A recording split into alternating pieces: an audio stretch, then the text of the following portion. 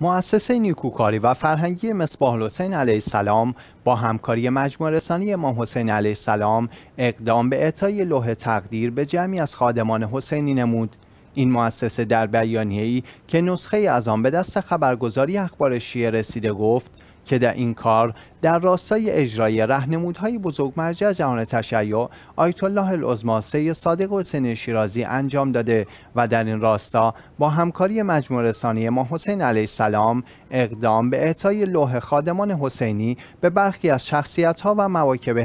حیاتی نمود که در راستای احیای شعار حسینی قدم برداشتند.